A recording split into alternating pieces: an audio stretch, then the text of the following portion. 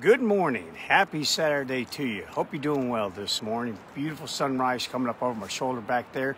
A little cloudy, but sun's starting to peek out. I got a little bit of a better view of it than what you guys do. Speaking of views, a friend of mine sent me this. Check this out. Is that beautiful or what? I'm telling you what, that's a dog park. But I tell you what, it looks more like an amusement park. It looks like Disney World. And I should know because I worked there. I bet you didn't know that about me, did you? Yeah, I used to be a lifeguard at Disney World, earned my ears. And if anyone's ever worked for Disneyland or Disney World, you know exactly what I mean when I say that. Got my ears. Okay, guys, well, I want to talk about this because when you look at this and you think about going to amusement park, you're thinking about play. When most people think dog parks, they think play. When in all actuality, what you really need to think, honestly, and don't mean to rain on your parade, is you need to think the Hunger Games. I kid you not. You just entered into an arena, a fenced in arena, in which the contestants are armed with fang and claw. They are. And it's every dog for himself, and every interaction, it, it, the condition changes. The condition changes interaction by interaction, not visit by visit, not minute by minute. Purely every interaction can end up in an explosive fight immediately with fang and claw, with one contestant taking out another one. All it takes is for one dog to walk up to another one. One that's fearful. One that really doesn't want to be there. It's there because the owner wants it to be there. The, the owner's kind of living vicariously through their dog. They're thinking, well, you're going to go to the dog park and you're going to play and you're going to like it. Yeah, yeah, you're going to love it. Sitting there thinking, I'm not loving anything here. I'd rather go back home. I don't like these other dogs here. It's scary being here, really scary. And all of a sudden, here comes your dog pushing it, pushing. And that's what a lot of young dogs do. And that's what prompted me to do this little video this morning. It's because we have a uh, viewer uh, that is a member of one of our uh, Facebook groups. We have lots of Facebook groups here. And she's got a five month old puppy that she's been taking to the dog park. And she's a little bit concerned because her puppy does seem to love it. And some dogs really do they go and they kind of pester the other dogs. They kind of provoke the other dogs. They try to, they want to solicit social play, which is really important for dogs. But the problem is that this little puppy is starting to run into dogs who really don't want to play with it. And it's going up and it's flopping down on the ground, rolling on its back and showing its tummy, doing all the things that was genetically programmed to that puppy before it was even born. It's doing all these submissive, active submissive behaviors hoping that if I do that, you'll realize I'm not a threat. I'm not a problem. I just want to, I'm just here to play. But sometimes you walk up to the wrong dog. You walk up to a dog that's very fearful and does not want you in its space. You also walk up to dogs who have the attitude, I don't get ulcers. I give ulcers. And yeah, that thing's going to give your dog an ulcer in a real hurry. So you got to be really careful. If you hop on our website, tamingthewild.com, and go to the media pages, you'll see a picture of, many pictures actually, of Captain. When I wrote my first book, Embracing the Wild in Your Dog, we took Captain all over. I think we went to every darn major city east of the Mississippi River, and then even a few of them west of the Mississippi River. And Captain was only about seven months old if you look in those pictures. And because we were traveling, staying in hotel rooms, didn't have a place like this to go take him on a hike every day, we took him to dog parks. And sometimes we didn't, meaning we went to the dog park, but we didn't enter the dog park. Or we did enter the dog park and we left after a few minutes because of the contestant that entered the dog park or was already preoccupied by dogs. I did not feel comfortable about Captain being only seven months of age going into that dog park. Again, I'm going there for the same purpose as you. I want him to get socialization. I want him to learn how to approach dogs that are very aggressive to a degree at a safe distance where I can monitor it. But I don't want a lifelong consequence to occur. And that's what can happen to young dogs because they're so young, they're so impressionable, they're so vulnerable. Things that happen to them, if the dog is under about six, seven months of age, anything that happens to them, they will never recover recover from that. Never, ever recover from it. And you just got to think about that. It's initial success or total failure. You must, until proven otherwise, till you know these dogs that are in that dog park, you've been there before, you've seen interactions with your puppy before with these dogs. You must enter that arena like you are entering the Hunger Games. Do it for the sake of your dog because sometimes they just don't get it. All depends upon the puppies that they were raising, their siblings, their mother. How much interactions did they get? What was the quality of those interactions that they received? Don't, this can be a tough school for your dog. It can be a school that, again, it's what I do. I deal with dogs who suffer from unusual fears, phobias, OCDs.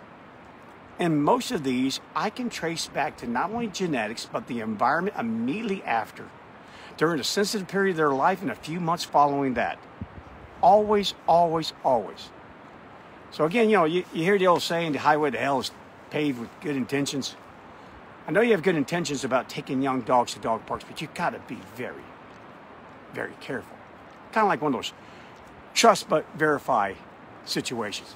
So here's a couple things you can do because I know you want your dog to have socialization, and that is really important. It needs to have exposure. Also it needs to be around other animals that have specific diseases and viruses and everything that's related to them, so it can build their autoimmune system, bolster them up, get their antibodies going there, so they don't become sick all the time. Take your dog. Think about taking your dog maybe to a daycare. Of course, check out the daycare first. I've done videos on daycares. Check them out. But here's one of the major differences about a daycare versus the dog park. Well, you have supposedly trained professionals who are there, supposedly they're watching all the dogs. They're typically watching all the dogs. They're not just a lot of dog owners that go to a dog park, and of course, who are they watching? Their dog. Their dog. They're not watching what's happening over here. They're not looking at the big dog that's approaching their little puppy right now. They're watching their puppy. And that's only for about the first five or ten minutes. Then they're talking to someone else that's at the dog park. They're not paying attention to anything. At least at a daycare, you got someone that's watching all of the dogs, gauging the interactions, removing dogs, trying to set the chemistry the way it needs to be, trying to do everything that they can to prevent a poor outcome. And it can happen. I'm not, I'm not telling you, you, you take your dog to a daycare, and your dog's not going to get bitten because it happens. It's happened in my daycares. I've had daycare since the early 1990s. And I tell you what, they will. And I don't care who, you could be standing right on top of them, they could be between your legs. And next thing you know, there's a full on fight. Uh, as I wrote in my book, The Hammer Why Dogs Attack and How to Prevent It, for aggression to be effective, it has to be swift. So it's coming quick.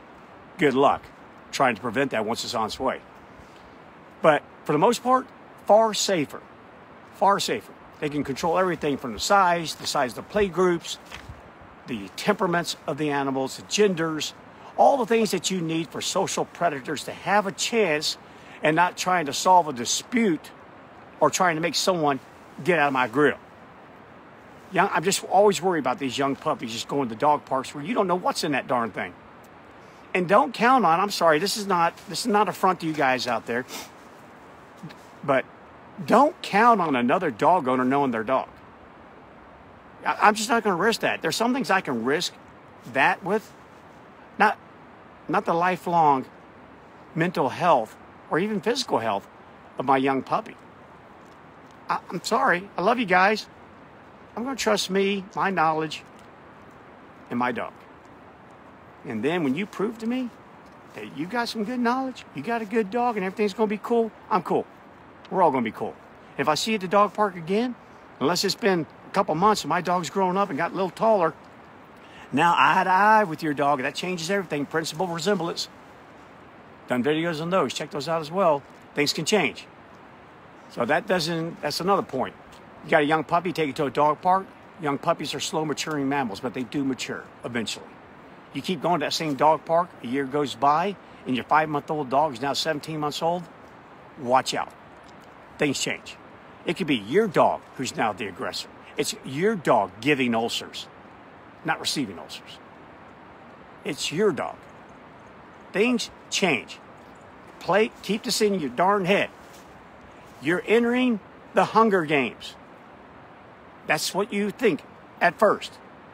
Conditions change in that arena, interaction by interaction, even with the same dog even with the same dog. Let two boys wrestle. Let them keep wrestling. One boy keeps getting pinned by the other boy over and over and over again. Trust me, after about 10 minutes, someone's going to come up swinging. Yeah, they may make up later, but your dog doesn't know that makeup thing. They only remember cause and effect. So kind of keep that in your head. The other thing to think about doing is, you know, there's so many of these social media sites out there nowadays. You know, neighborhoods, next door neighbor, a whole bunch of other things. Get on there, post it. Say, hey, I had this young puppy. This is the breed. He's rambunctious, loves to play, but kind of full of himself. I would like to start a small play group and then talk to one another, interview one another, check it out. Try it out on long leashes first. Make sure, not short leashes. Short leashes can make a dog fight that would never fight. Yeah, give them some space. I, I like about a 20 foot long line. You can even lay it on the ground. Just make sure your foot's right near it. And at any given moment, if we got something going south, pull the dogs apart and say, okay, learn from that. Maybe we'll try that again later. But try to make a play group. Get some friends together, make some friends. Let your dogs play. You can do that. Do that with social distancing, no problem whatsoever. But try that out. Try to match the same temperament, roughly opposite genders if you can. That always works a little bit better. And make sure that their energy levels are about the same. And tell you what, the, the outcome to that is going to be a really positive outcome. That's what you're looking for right there. That's what you're looking for. What you're not looking for is my 15 pound, 20 pound, five month old dog getting flat out thumped like it's some WWE SmackDown by an 80, 90 pound dog. I promise you that will have lifelong consequences. Don't. It's not worth it. I wrote a blog, gosh, years ago, uh, put it on the website. It's titled Willow the Wallflower. Check it out. Because again, so many times we think dog park and they build these darn things like the one I showed you. I think it's in West Virginia. Four and a half acres, a pavilion, cameras, artificial turf. I, I can't even imagine how much that cost. And good for them for doing that. I just don't want you to be lured into the candy that is just being dangled in front of you Except the fact that you own a social predator. Yeah, predator. Not a rabbit, not some fuzzy, not a goldfish.